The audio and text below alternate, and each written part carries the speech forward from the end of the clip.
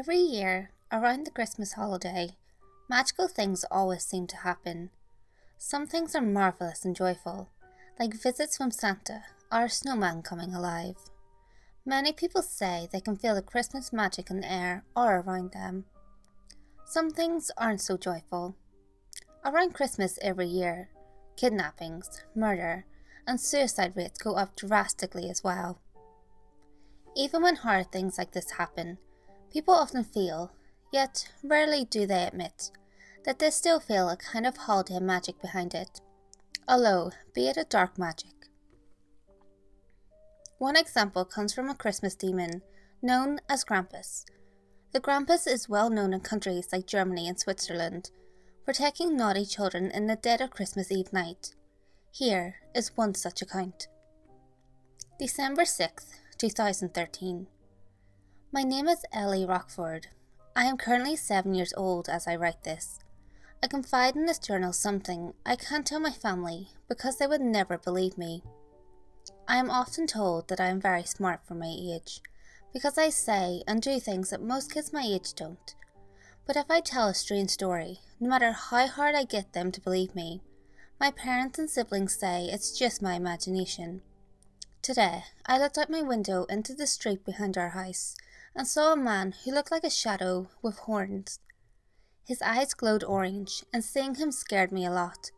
He was ringing a bunch of bells for something, but I just tried to ignore him and sleep. Then I heard a knock on the door. I went down to see who it was for Mummy and Daddy, but when I got to the door, someone stuck a card through our mail slot and ran off really quickly. The card had a picture of a monster who had bow legs, a tail, and horns on a scary looking goat head that looked half human. I was so scared that it was the thing in the street, but I don't know what to do. I think I know what it is, but I hope I'm wrong. I showed the card to my dad, and he said it was Krampus. The bottom of the card said, Gross von Krampus. Daddy says every year Krampus punishes bad boys and girls on Christmas, but Santa gives good boys and girls toys. So now I'm not so scared. I always get toys on Christmas, so I must be a good kid. I still didn't tell him about the thing on the street. December 24th, 2013. My parents will be gone for most of tonight and Christmas morning tomorrow for some stupid work thing they both have. We usually have a Christmas at 6am, but we have to wait for Mummy and Daddy to get home first. Mom told Brad, my oldest brother, that we would have a babysitter because she didn't trust him to watch all five of us by himself. Mom often let Brad watch us, but we had broke a lot of things the last couple of times we were left alone, so Mummy said she would get Rebecca to watch us. Rebecca came to the house around five. She was very pretty, and Brad couldn't stop staring at her. Mummy and Daddy left a couple minutes after Rebecca got here this was the first time Rebecca had watched six kids at the same time before, and I don't think she knew what she was getting herself into. My youngest sister, Molly, who's three, threw a tantrum after our parents left. Levi and Garrett, my younger twin brothers, who are both five, started fighting. Brad talked with Rebecca most of the night, and Rachel spent most of her night in her room. Mom and Dad said that we would still get Christmas gifts tomorrow, but we had to wait to open them until they got home. We made hot cocoa, but the cocoa makers broke, so the hot chocolate burned our mouths, and we all got candy canes too. Rebecca started to put us to bed at 8 and finally succeeded at 9.30. Even though she was clearly exhausted and frustrated with us, she told us she had fun and that she wouldn't have spent Christmas Eve any other way. I woke in the middle of the night at about 11 to see a crimson moon casting a dim, red glow on the winter snow. I looked out my bedroom window and saw a red object coming towards our house, fast. It was hard to make out, but it looked like a red sleigh being pulled by reindeer. I instantly recognised this as Santa's sleigh and ran to hide on the stairs and waited for him to come down the chimney anxiously. Out of the window to the right of our fireplace, I saw the sleigh fly overhead and heard many hooves trotting on the roof. I made sure to remain perfectly still and silent as a mouse. I waited for what felt like an eternity while soft footsteps echoed on the roof above me, getting closer to the chimney. I heard scuffling as ash and dust started falling from the fireplace. Soon, two black boots landed. Then the rest of jolly old St. Nick came through the fireplace with a bag of toys on his back. Without speaking a word, he went straight to our tree. He took gifts from his bag and scattered them under our lit up plastic evergreen, then started on the milk and cookies we left for him. I felt that I had held my breath the entire time I was hiding on the stairs. I couldn't believe I was spying on the real Santa Claus in my own home. Eventually, he made his way over to our stockings and started putting various knickknacks and candies in our stockings, starting with Molly. When he got to Levi, he took out a small black rock and eyed it sadly before placing it in Levi's stocking. It took me a second to realise that he gave Levi coal. I tried to stifle a laugh to the best of my abilities, but a small squeak escaped my lips anyways. Santa turned around and scanned the room. I remained as still as ever. He turned back to the stockings, this time keeping his back to me, and put a piece of coal in Garrett's stocking too. He put a candy cane in Brad's stocking, along with a pocket knife. Rachel got a new phone and some Kit Kats. Finally, he moved to my stocking, which is always furthest to the right. Even though I'm the middle child, he began rummaging through his sack as I leaned forward excitedly to see what presents I was getting. Santa pulled out a large jet black piece of coal and stuffed it into my stocking. I felt a wave of anger, sadness, and regret all at once. I almost stood upright then to tell off the old jolly elf, but when he turned around I saw tears in his eyes. He looked as if he was filled with similar emotions as I was, like he didn't like to have to give bad kids coal it was for this reason that I remained quiet as Santa climbed back up my chimney, got into his sleigh, and flew away. I watched out my downstairs window as the sleigh flew from the roof and into the black abyss of Christmas night. I sat there, still in place for a very long time, pondering how I could be a better child next year when I spotted something out of the window again. It looked like the same figure I'd seen before, but this time the sleigh looked as if it was black. I wrote this off as it was really dark outside, except for the moon's red glow. I wondered why Santa would come back. Maybe he forgot something. Maybe he had made a mistake. Maybe. I wasn't naughty, and he was on his way back right now to fix his mistake. My mind was racing from one thought to another as I began to hype myself up for all my possible Christmas presents. I'd stopped watching the window and had begun to daydream about the next morning until hooves on the roof interrupted my thoughts. I heard loud, heavy clacking this time as he got closer to the chimney. Ash began to fall down the chimney, creating an ashy cloud around the fireplace as what I assumed to be Santa began climbing down and landed a loud crash. My final thought before seeing what came next was, How has no one noticed all of this? Through the cloud of thick, black ash protruded two large horns with stripes of red and white like those of a candy cane's. As the dust settled, the rest of the figure was revealed. His skin was a pale, icy looking blue. His beard was like Santa's, except it was black and came to a point. His nose was long and his face looked grizzled, but more human than I thought. His horns looked like they had touched the ceiling if he jumped. His body looked human in shape, but animal in appearance. His legs were twisted and ended in hooves, like that of a cow or a bull. He had a long tail. His torso was contorted, and everything but his face and palms were covered in fur. He had broken chains around his wrists, and what looked like a heavy, red Christmas ornament attached to his tail by another chain. His ears were pointed, and so were his yellow teeth. Despite his horrid, outlandish appearance, the most noticeable things about the creature were its bells that it wore, and a basket on his back that had the limp arm of a child hanging from it. The stories were true, and so was Krampus. I couldn't believe my eyes. I had seen sleighs go by, magic reindeer fly overhead, and I had even seen Santa Claus himself, but none of that could have prepared me for the beast that is Krampus. He moved around the room with such speed that I was caught off guard. This thing looked about eight feet tall without its horns, and with them he towered over everything in our large home. He made his way to the fireplace and took the coal from Levi's stocking. He rolled it along in his long, bony fingers for a moment, then took the coal from Garrett's stocking, and then, finally, mine. He studied the coal for a moment. A wide smile, full of pointy, yellow teeth, beamed across his face. Naughty little children, I heard it say in a cold, raspy voice. A shiver ran up my spine as he spoke. I was paralyzed in both fear and awe at the creature that roamed my living room beneath me.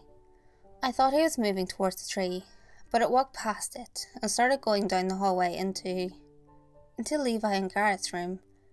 I remembered the things my father used to say about it that he whips bad kids, takes them away. Sometimes he eats them, sometimes he shakes them and scares them into being good. All these hard thoughts and more danced through my head as the monster creeped into the twins' room. I tried to scream with all my might, but no sound would escape my mouth. As I finally was able to choke out, Levi, Garrett! Screams had already filled their room. Levi came running out of his room, screaming his head off as Garrett followed suit. The creature's long twisted arm reached out from the room and grabbed Garrett's leg, pulling him back into the room. I stood up from my spot on the stairs and motioned for Levi to come to me. Garrett's screams fell silent. The Krampus emerged from the room alone. His nose seemed shorter now, his face even more deformed now. I gripped Levi's hand tightly, and we ran for Brad's room. I wheeled on his door again and again, but he wouldn't come out. I would have tried harder to get his attention, but I could hear it coming up the stairs as each hoof hit each step. I took Levi to the laundry room and told him to hide in the laundry chute. Once he was inside, I began lowering the laundry hamper so he could get downstairs without confronting the monster. Before he was lowered out of sight, I told Levi to start the hot cocoa maker because I had a plan.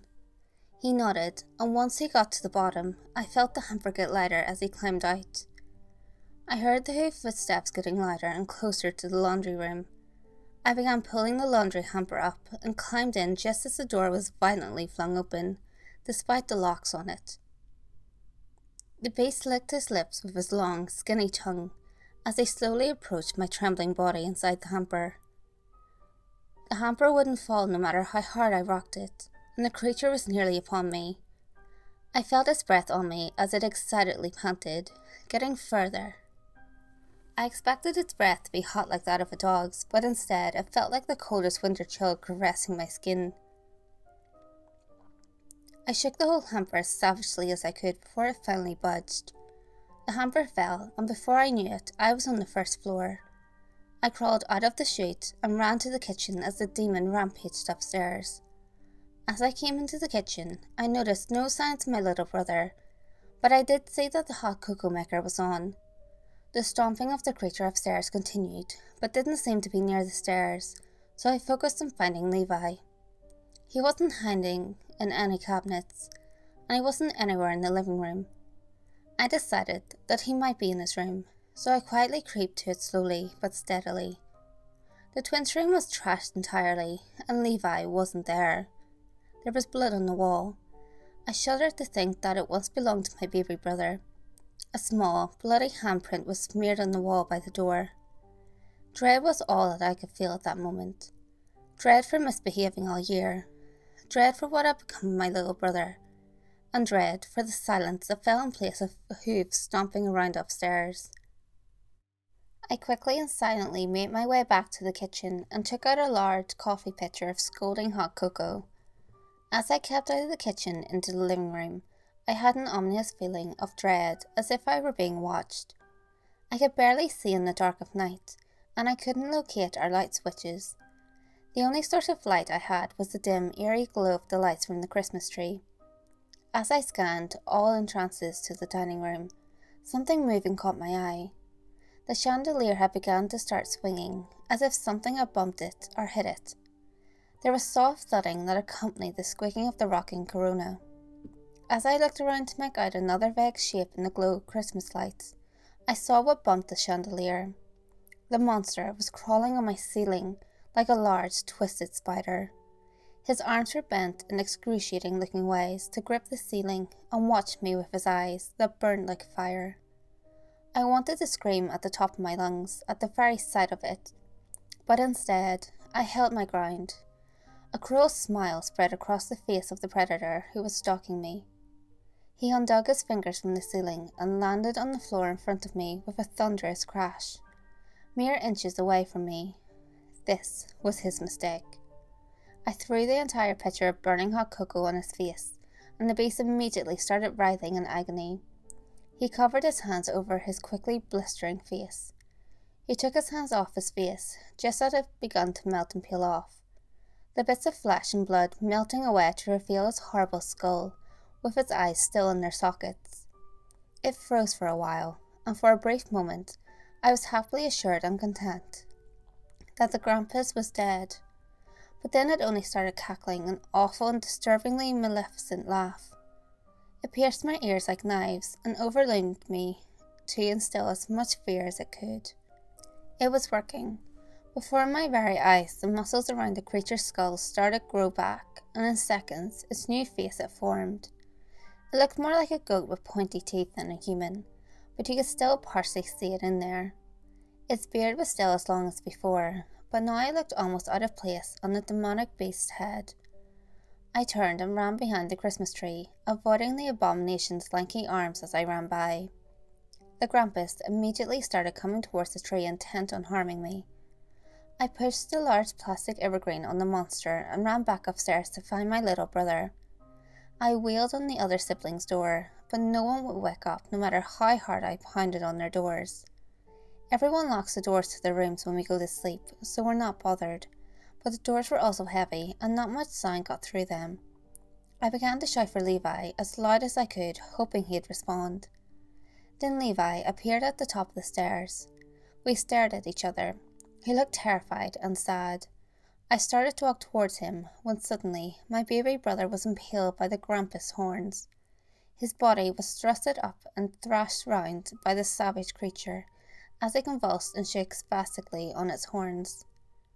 I've seen people die on TV before, but watching it in real life is entirely different. No one should have to go through it. My brother didn't deserve that. No one deserves that. Santa and Christmas are about love and cheer. Krampus made Christmas about hatred and retribution. I watched helplessly while the thing ripped my brother's shaking body from its horns and dropped its lifeless body into the basket on his back. The demon began to strut towards me with malicious intentions, so I ducked into Mum and Dad's empty room and opened the top right drawer in my dad's dresser. I wasn't tall enough to see what I was reaching for, but when I felt it, I pulled out my dad's pistol I opened the other dresser and had put two bullets in the pistol by the time the creature burst open the door. I shot it twice and hit it both times, but it was unfazed by the bullets. The loud noise clearly hurt both our ears, and as the monster clawed at its ears while screaming in pain, I began to quickly crawl towards the window until something long, thin, tight, and slimely gripped my leg and began pulling me back. I looked behind me in my terror to see the Krampus was using its incredibly long tongue to pull me into its mouth, full of sharp, jagged teeth. I began to breathe in and out quicker and quicker, and began panicking as my foot got closer to its mouth. I lifted my left leg and kicked it in the face twice before its tongue finally loosened. Before I could breathe, Krampus picked me up and began shaking me wildly. I kicked him a second time, this time with my right foot, and he flung me into the hallway where I began limping away. I'd reached the end of the hallway when I heard a loud popping crack sound, moments before feeling a sharp sting all across my back. I looked back and saw that the holiday devil had whipped me with a whip like a lion tamer would use. I felt the warm ooze onto my back as new pain started setting in. I started to limp away to safety when I was picked up by Krampus again. His long, cold fingers wrapped around my back and stung my cut even worse.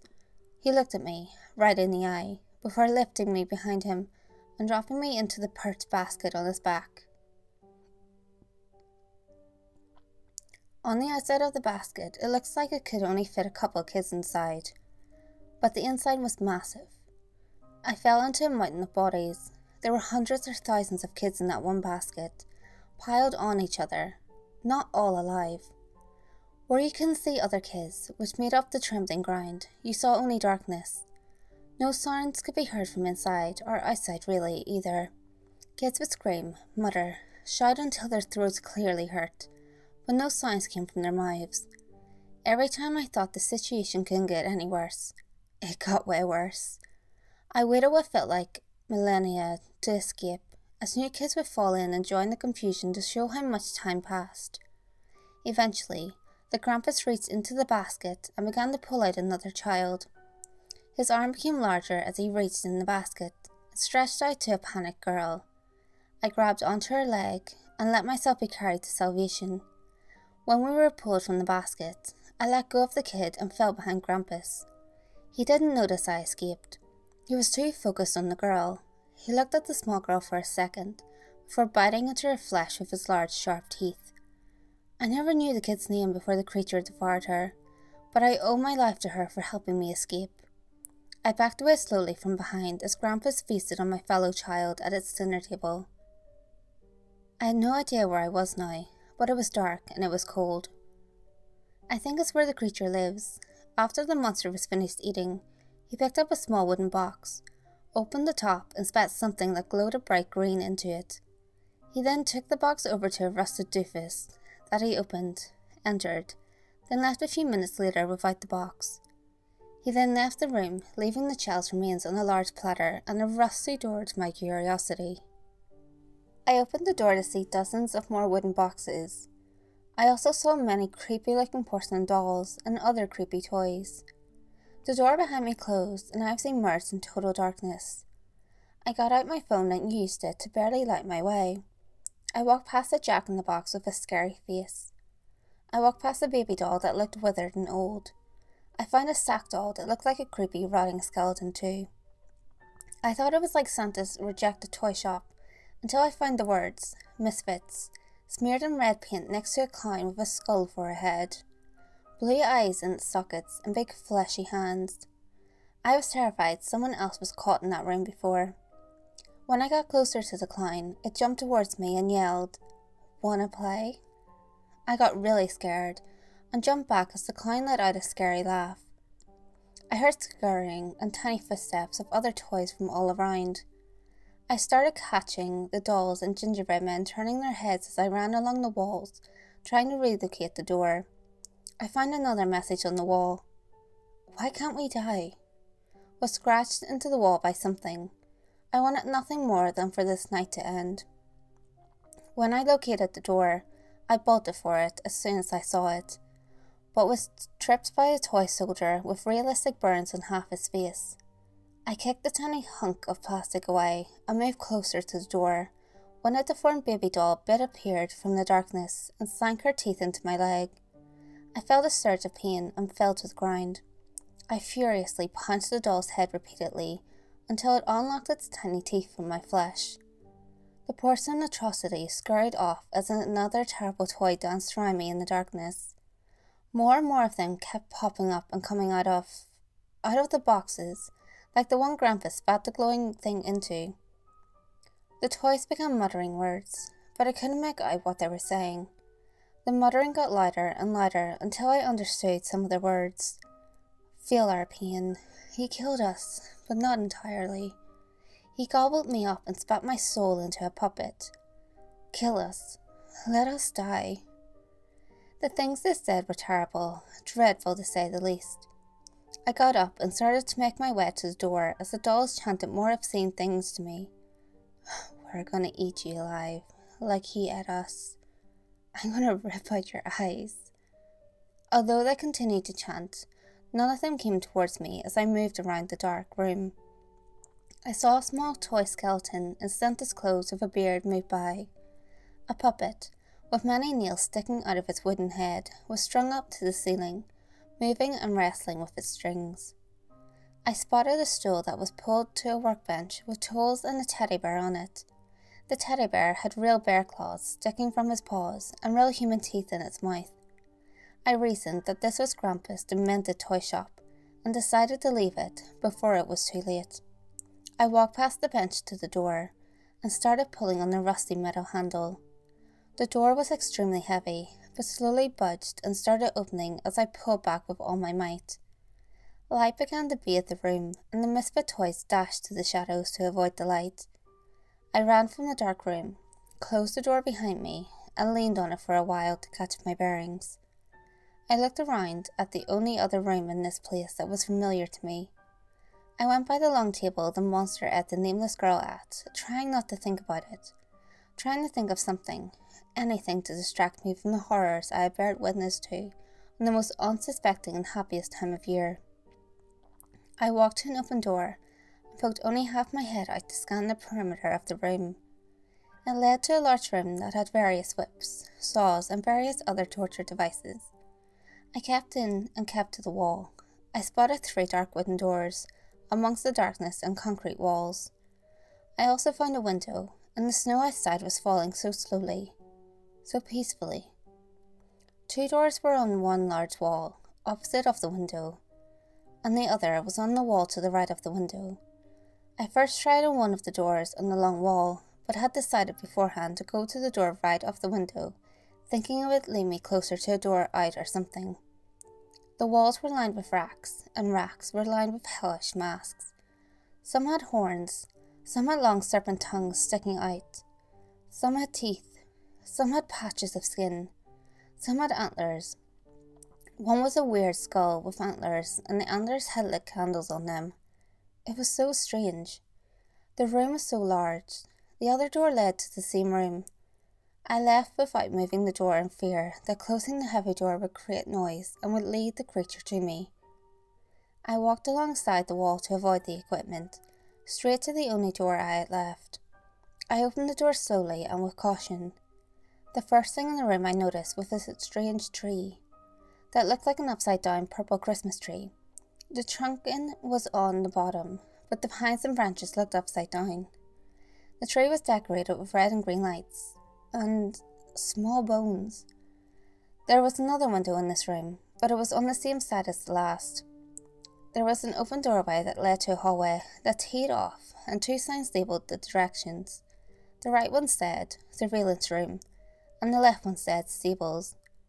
I went to the stables thinking I might be able to find a reindeer to fly out of this place with. It seemed like a silly plan now in hindsight. I opened the stable door, and awful smells invaded my nostrils immediately. There was frost on the floor as well. There were eight stables, lined up along the wall to the right, each with demonic reindeer heads sticking out. Below each head was the doors to each stall, each with pendants of names on them. I read the names out loud as I started down the row. Each steer was grotesque in their own right. One or two had exposed skulls, each had jagged teeth, some had manes, and others had dried blood on their fur. Seven of their eyes glowed red. Slasher, I said as I passed the first one. Wrathful, Gorgon, Putrid, Cyclops. Cyclops was missing one fiery eye. Rabies, Goner. The last monstrous reindeer looked like a hellish Rudolph, the red-nosed reindeer. His head held flames that danced from his gnarled snout to the back of its mane. Between its sharpened bloody antlers furiously flickered bolts of electricity. Blitzerg.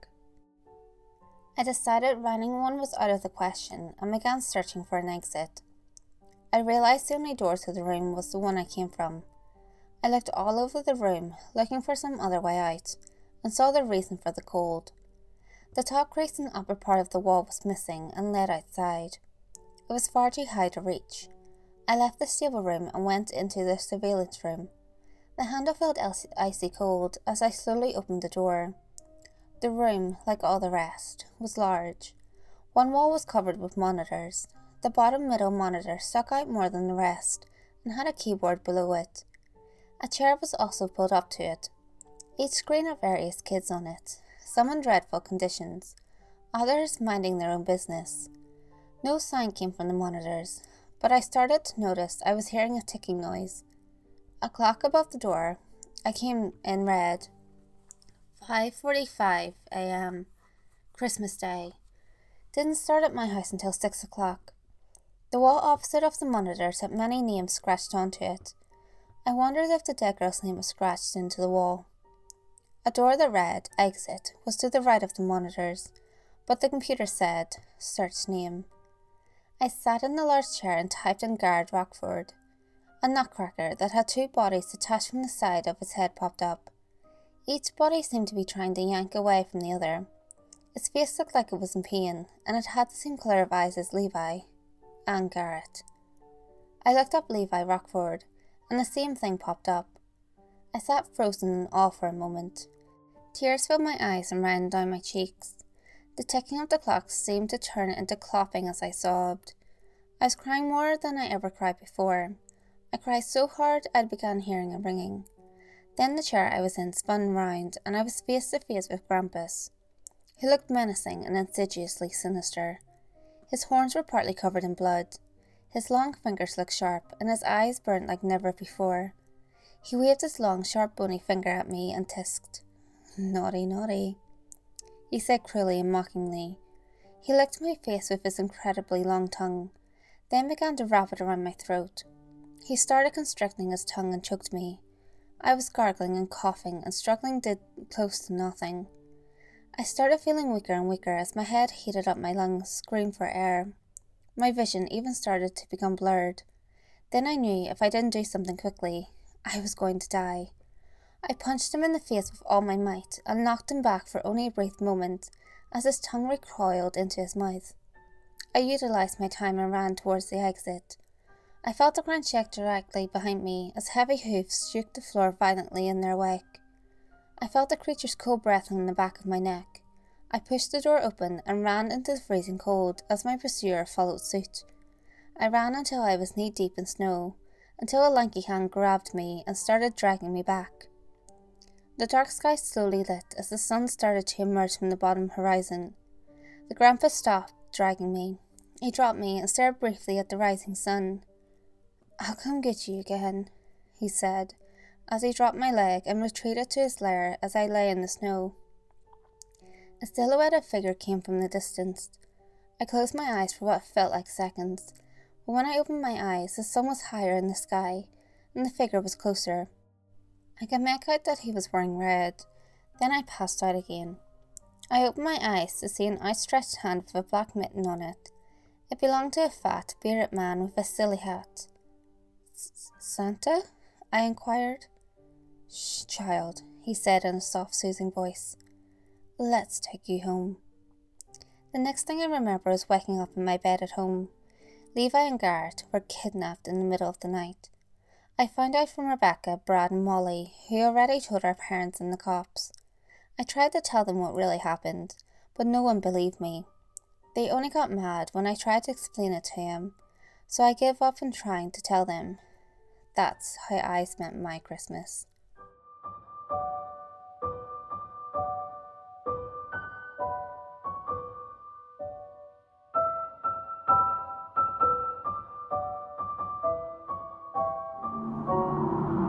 Hey guys, if you enjoyed this video, give it a thumbs up and share it with your friends. You can also leave a comment below. All feedback, good or otherwise, is always appreciated. If you have any creepy stories of your own, or of any topics that you would like me to cover, feel free to send them in via any of my social media. You can find all links to my social media in the description below. Until next time, guys, make sure you lock your doors, stay safe, and I'll see you next video.